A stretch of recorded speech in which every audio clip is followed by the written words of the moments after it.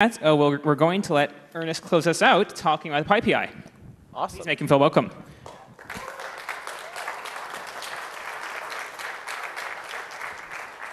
All right. Can everybody hear me all right? Excellent. So um, today we're gonna, I'm going to be closing things out with uh, talk about running vintage software, Thank you. specifically PyPI's aging code base. Uh, but first, I'd like to say thank you to the organizers, volunteers, sponsors, and you, the attendees of the very first North Bay Python, for sticking around to hear from me. and that. Um, so uh, I'm Ernest. I'm a software person living and working in Cleveland, Ohio. Since 2012, I've been contributing to the Python Software Foundation's infrastructure team. I'm a founding member of the PSF Packaging Working Group, and I'm excited to be your PyCon chair for 2018 and 2019 in Cleveland, Ohio. May 9th through 17th, and CFP is open until January 3rd, anywhere on Earth. Um, aside from that, I'm also an avid taco enthusiast, but most recently, many hours and hours of my free time have, have led me to believe I may be a masochist mechanic. And that is because I made every attempt possible to make this car my daily driver in fair weather. Um, that is my first car, and I still have it, which is kind of cool. It's a 1967 Saab Model 96, uh, one of the very last two-stroke powered vehicles in the United States.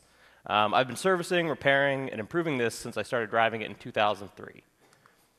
Driving a vintage car everywhere can be a pain. Things will break.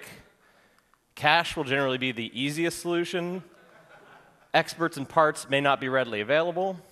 And engineering assumptions from 1960 may not be valid anymore. So is this a lost cause? Should we just scrap the car and, you know, just give up on it? I don't think so. Um, it's just time to get to work. Oftentimes, you'll just be pulling things apart and cleaning them up. Sometimes it'll be simple telemetry that needs repaired. And once in a while, there's a need for more invasive repairs. So during a recent conversation on Twitter about my Saab, Hynek saw the need to interject. He posited that perhaps my being tied up in vintage Saabs was indicative of why I might have been tied up in one of my favorite ways to contribute to the Python community. I took some time to consider this carefully and decided that Hynek is not wrong. So let's talk about PyPI. PyPI. PyPI. Uh, it's the Python package index, also known lovingly as the cheese shop. Um, I've been one of PyPI's caretakers since sometime in 2012, and during that time I've worked with Donald Stuft, Richard Jones, and a handful of other volunteers to improve PyPI's availability and keep the lights on. Uh, let's briefly talk about a little bit of history of where PyPI came from and how it got to where it is nowadays. Um, this is sort of the original thing that acted like PyPI in uh, the Python universe. It's called the Vaults of Parnassus, and it's the predecessor. Uh, it was a hand-curated page full of links to Python stuff anywhere on the internet. Users could submit links for inclusion, and they'd be added eventually and uh, occasionally fixed whenever the page moved or whatever. But that's it. Um, there even includes a lost and broken links section somewhere on there. There it is. Um, because, you know, in the early days of the web, hypermedia, glorious web 1.0. Um, if you're interested, there are still links of this floating around, um, including the Wayback Machine and the Internet Archive. I missed my bullet points. That's okay. So uh, there's some key PEPs in, Py in PyPI's history if you're interested in, in, learning more about sort of where it came from. Um, PEP 243, which ultimately wasn't accepted, was effectively a distutils extension that provided a way to use metadata to determine where to go install packages. Um, PEP 301, which eventually was uh, accepted, was the first iteration of PyPI, which also included um, the uh, a place to upload metadata and trove classifiers a central repository. Um, so that's pretty much what became of it. Um, eventually, they added a, a, PEP which, which set hosting modes. So initially, PyPI was really just a uh, hypermedia place. You could find links to go install packages, and all was great. Um, eventually, there became a need to sort of uh, host packages, you know, to, to help that broken link pro problem. And PEP 438, 4, 438 added explicit hosting mode. Um, PEP 470 uh, removed external hosting completely, and now if you want to install it on PyPI, it has to be hosted there. Um, so PyPI has 120,000 packages as of a few, or a little more than that, as of a few hours ago. Uh, more than 840,000 releases, over a million release files, accepts 200 million requests per day, and serves 40 trillion bytes per day. And has three working tests. So, uh, uh, uh, apologies to the testing goat and to Julia. Um, really thinking about it, we probably should have spent more time just adding more tests, but um, there's something else that turned out. So, to summarize, that's some of the stuff. And of course, pretty charts. Um, it's seen incredible growth over the past uh, four and a half years. These are uh, all the stats that are available from our CDN provider as of uh, now. It's the only way we can really go back and determine how much we've done. But 121 billion requests and 15.1 petabytes. Uh, we're pretty much passing about a petabyte a month now, though. Um, so where did this code base come from? Uh, the initial commit to version control was in November 1st, 2002, and the first release package was just a few days later, in November 6, 2002. This is vintage software. Um, remember how I said that initially PyPI was just a metadata server with a basic distutils uh, plugin? Uh, since then, it's sprouted and sunsetted a plethora of features. Interestingly, though, most of the basic parts of the code base have lived on and been extended or modified to build these new features. On top of that, it's on a one-off WSGI implementation, which might sound really bizarre to us nowadays. Um, but in 2002, uh, choices were incredibly limited if you wanted to do a web server with Python. Okay. So trying to operate vintage software every day can be a pain. Things will break. Cache and cache, honestly, will generally be the easiest solution. Experts in context may not be readily available. Engineering assumptions from 2002 may not be valid anymore. So briefly, we'll just sort of walk over a couple things where you know I sort of draw these allegories. So things breaking. Uh, when I started my slideshow, this is uh, a GIF of all the tweets containing PyPI down since 2009. Um, things broke a lot and regularly break and will continue to break. This is the nature of the web. Uh, fortunately, though, that is trending down over time, which is really good and exciting. Um, because, but tools were built that, that were, you know, expected PyPI to be available and uh, served crucial functions like integrated, you know, continuous integration testing, deployments, and developer workflows.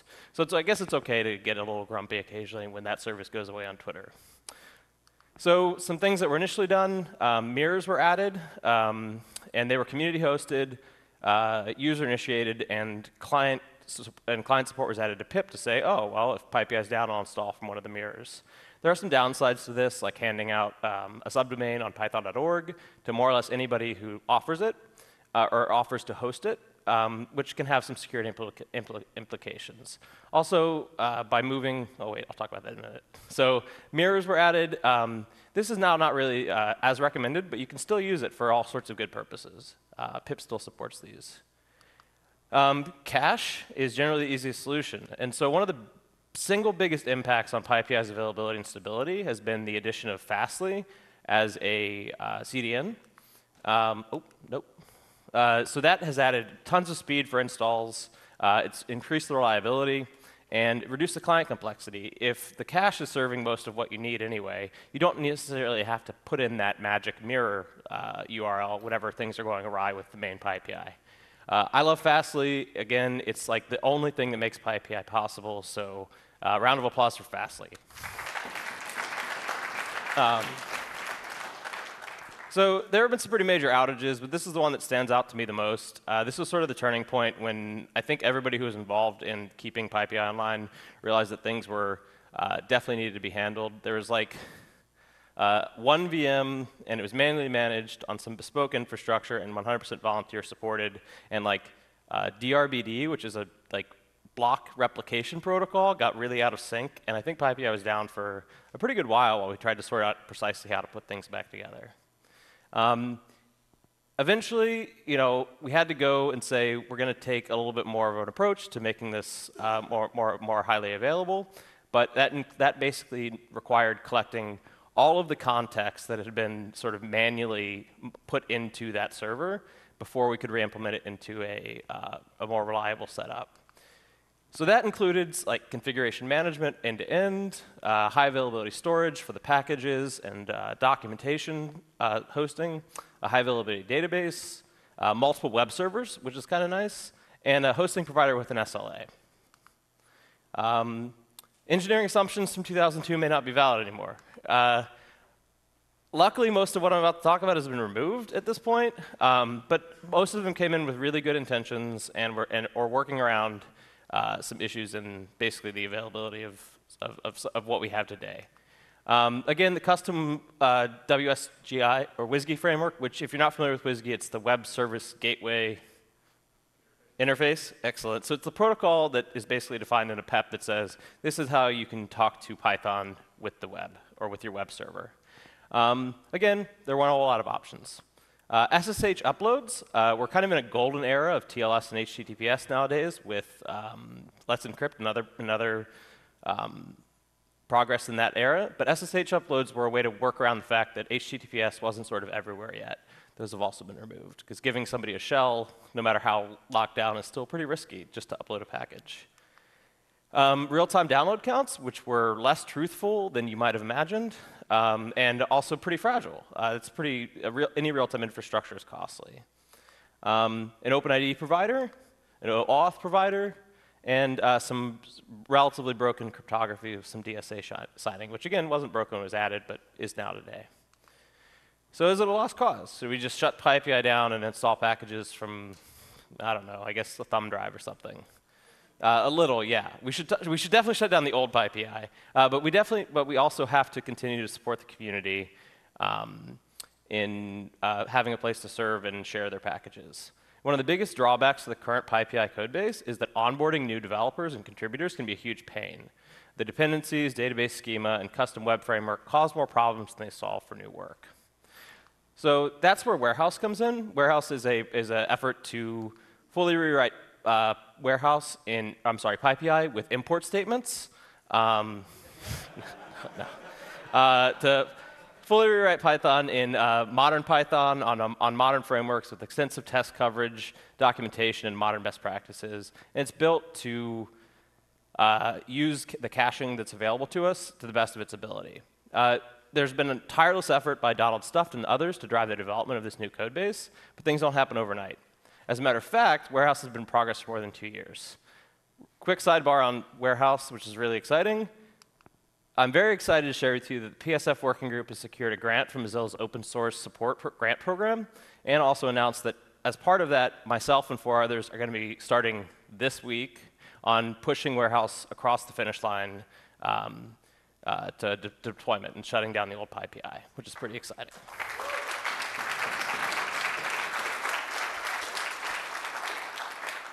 But in the interim, there's remained a need to keep PyPI available for the community. So I'm going to talk really briefly about some of the techniques that's made that possible. Um, so these are some of the things. We're going to get through as many as we can before Chris comes and pushes me off the stage. Um, but a quick warning, uh, think concepts and not specific implementations. There's going to be a lot of code on screen. You don't really need to uh, dig into it and try to read it. I'll highlight it as we go. And the goals here are slightly different than your average production system. Since we are kind of, the assumption was always we're going to be throwing this away, some decisions were made that maybe were a little more ad hoc than they needed to be. Um, for some details, you, I'm going to have, oh, they're cut off, bummer. Um, I'm going to have some uh, reference material to other talks you could go check out that have sort of, in, in some cases, even driven me to make some of these changes. Um, but overall, capacity and stability patterns from Brian Pitts at PyOhio 2017 covers more in depth some of these approaches. The single biggest uh, enable of effective change for PyPI over the past few years, especially given limited time and resources, has been metrics. Again, great talk from Hynek at PyCon 2016 on getting instrumented and talking about the way that metrics can provide value to your, uh, to your own software. Um, these are all about answering questions. Often you'll see a focus initially on system metrics like CPU, memory, and disk, which are fantastic. But there, there's a welcome trend over the last few years in tech towards application level instrumenting. System metrics are great for answering questions like, what's slowing down or breaking? And did my last uh, change help or hurt performance? Application, on the other, application level can answer questions like, where are my efforts best spent? And what features may no longer be worth supporting? So a quick example. Here we have a pretty straightforward um, um, function, or I guess the method on the, no, it's function, um, called search. And so it does something pretty simple, which is take some operators and throw it into uh, another, another module that'll give us our search example. So we're going to instrument it. It's pretty straightforward. We can import uh, our library of choice, and most libraries for this sort of thing have decorators, which is really helpful. And this gets us really quickly, with two lines of code, a bunch of metrics that we can use to measure the performance of that function call. Um, we can get the raw count per bucket of time, we can get it as a rate, and we can also get timing stats. And with a little bit of math, we can combine those to get the overall time consumed by a given function. So what's helpful here is we can look at this and say, right now, the overall time consumed on our backends is uh, definitely taken by this one, uh, which I'm not sure what it is. Mm, probably. So that would be a good place to, to work on it. If we can reduce the overall amount of time that takes or reduce the number of calls, we can improve the amount of time that our backends are working. Um, another example, this is another search. Uh, searching is expensive, it turns out. Um, so we're going to instrument this by adding uh, a couple things that we could have done with a context manager, but for simplicity's sake, we've added, we've just measured the start time, end time, and sent off a timing metric to our, uh, our, our, metric hosting thing uh, with how long this takes, which again, we get similar metrics out of. Um, and you also note that along the way, we incremented uh, how often uh, we, this, this request timed out, which can help us tune that timeout. So the advantage here basically being that we can look at this. So this is the number of timeouts over the past however many, this is over like a day, I guess, for that. And so we can see there's a big spike here, but overall, we're not timing out too many requests uh, relative, to, relative to what's going on. Um, so that can help us tune the timeout so we make sure that users aren't affected by basically you know, guarding ourselves. Uh, a quick side note on errors. Uh, we use Sentry for collecting errors. There are a handful of other services that do this, but it's super helpful, particularly in low test coverage environment, to have a stack trace, pretty much all of your context in one place, and you can determine pretty quickly when something bizarre happened, um, and optimally figure out a fix uh, without having to go into too much craziness. Uh, that didn't turn out very well, but you get your stack trace, and down here you'll get uh, context on that. Um, the next thing is scaling with tactical updates. So in general, you know, we're serving a, a, a known uh, service effectively, and changes to the way that it functions can be really, can, can affect the users uh, in a very negative fashion. So when you're going to change something particularly large, you want to be as sort of tactical as possible and think before you jump. Um, so this is the search method. So don't focus too much on what's going on here. Just sort of get a feeling for how big it is. Uh, so this is the thing that was powering search on like the the web the website. So when you go to python.org and search, or whenever you searched from the XML RPC. And this is the SQL that it actually generated. These are one, two, three, four, five, six uh, different selects, which over tables that just keep getting longer and longer and longer. Remember all these releases and projects. And so eventually the backend uh, MySQL servers start to look something like that, or Postgres servers start to look something like that. So enter Elasticsearch, you know, for search. Um, all of those, all, of these uh, are pretty naive, uh, pretty naive uh, like uh, queries effectively. So saying just look for any, look for any column that looks like this string. So uh, in pretty, this is the Elasticsearch code that replaced it. And so in pretty similar amount of code, we were able to move to Elasticsearch um, rather than using these naive like statements in, in, Postgres. And that offered us a huge speed up in how long it takes to render a search. So we go from a second to about 250 milliseconds. So that adds up very quickly given how, uh, how many searches are coming into PyPI on a regular basis. And here's how many 503s uh, we were serving. Uh, and when we deployed it, it went from a, a lot to very few, which is nice. Uh, it's mostly timeouts. Uh, so caching. Caching is cheating, and cheating is winning. And uh, Matt Roweno gives a really great talk on cheating away to web scale with HTTP caching. This is something that, uh, if you're not using, it's, it's good to look into for things that are taking lots of HTTP requests. It's built in with the cache control uh, protocol of HTTP in the, in the, headers. There are tons of options, and it's generally bolt-on. Um, get a CDN, maybe one like Fastly. Um, so for caching internal stuff, though, it, you can't cheat as well. Um, you're generally going to have your own custom logic and your own custom things. You can't just uh, cheat with an HTTP uh, cache caching protocol. Um, the changes I'm about to talk about were directly influenced by hearing a talk from Lindsey Brockman at PyOhio in 2014 called Making API Calls Wicked Fast with Redis, so that's what I did. Um, here is some Puppet source code. that calls pypi.python.org and uses this thing called XML-RPC. If you're not familiar with XML-RPC, it's an old school uh, RPC protocol that uses XML, and uh, it's being used to get the number of, or the, the, the package, the, the available packages for a given Python package. This is a valid XML RPC request on PyPI against PyPI.org, and there's, there's only one problem here, and it's not XML. XML is kind of rad. It's this, post. If you've ever done caching, you'll know that posts are uh, generally more difficult to introspect, and particularly given this XML, XML we'd have to parse to determine what the request wants, uh, it, it, just adds a lot of complexity to try to cache that at the edge. Instead, we'll cache it internally. And also, there's nothing really wrong with what's happening here, except for the fact that when it first was written, it might have been five or six or seven servers. And now we're sort of in the days where the number of servers that are calling that might look like this. So it, it tended to cause lots of problems for PyPI.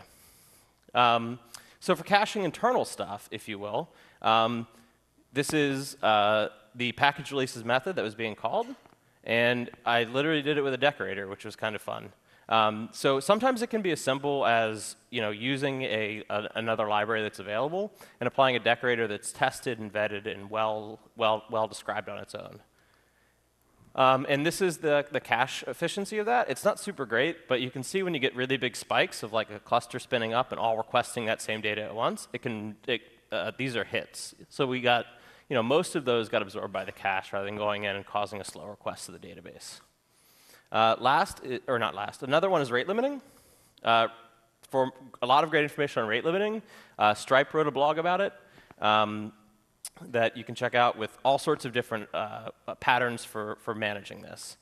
Uh, there are two different types that I'm going to talk about. One is traffic from one client and misbehaving or malicious scripts. Oh, not going to talk about those. So spikes from one client. Cron is kind of evil.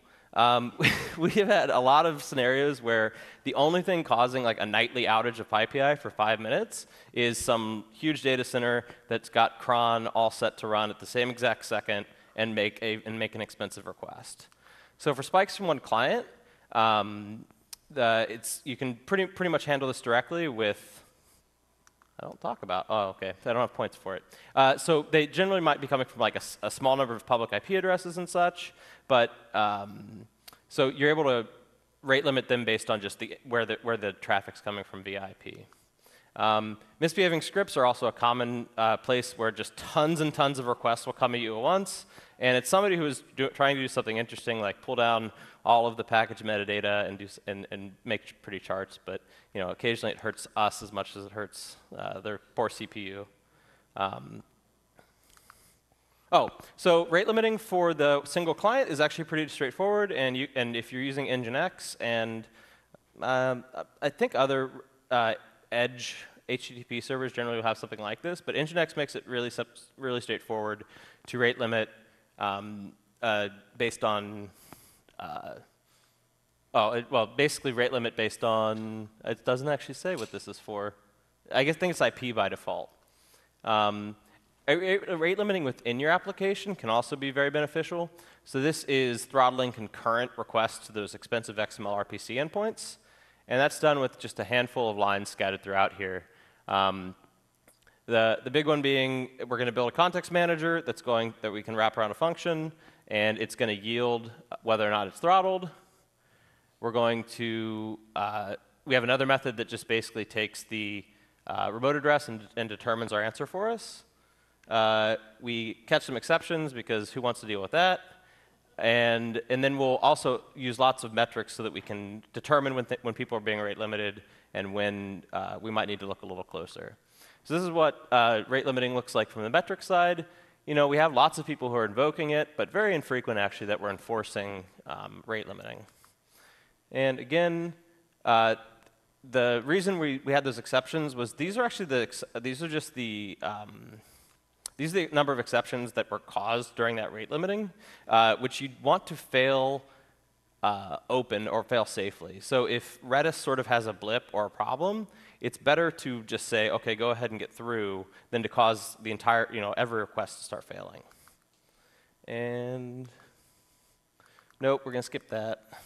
Oh, uh, this is a this is a good one. Removing features. If you have an old legacy code base, delete as much stuff as you can.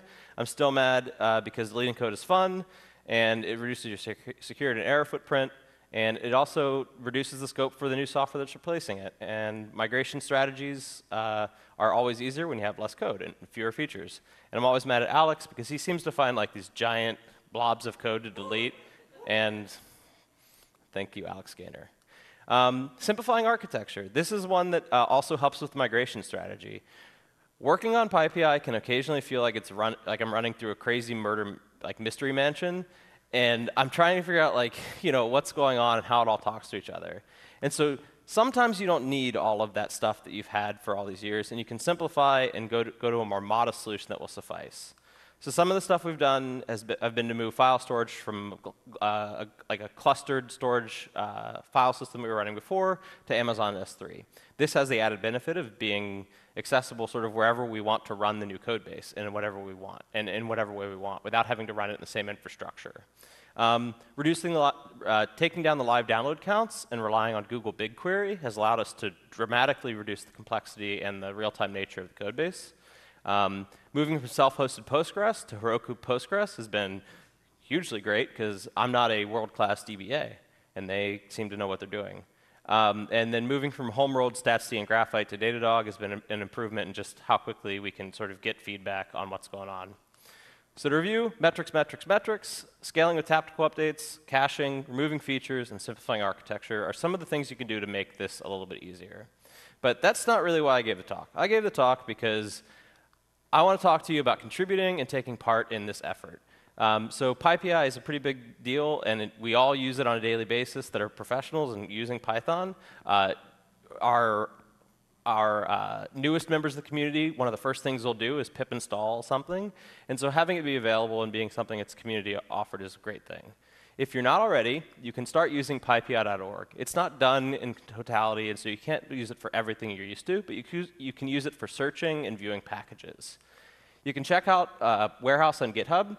This is where most active development is going to be cropping up soon uh, and has been going on for some time. There are issues there that are tagged generally with uh, front end, back end, and optimally with uh, the, the level of uh, experience that you have. So hopefully there's something you can find to contribute up front. Warehouse.readthedocs.io has documentation on working on Warehouse. Going, heading back from there, you can also file issues back, back on uh, the GitHub repository if you find some documentation that's confusing or alarming. When you're using uh, the Python packaging ecosystem and you run into a bizarre problem or something that's confusing or doesn't make sense, you can contribute uh, by just filing that issue at, at, the packaging problems meta tracker, and that'll give us a better idea of the way things are being used and how we can improve it moving forward. And finally, if you have more money than time, you can also donate to the packaging working group directly at donate.pypi.io. And last but not least, thank you, and if you'd like my slides, they're there. Thanks, Ernest. Thank you. Thank you very much.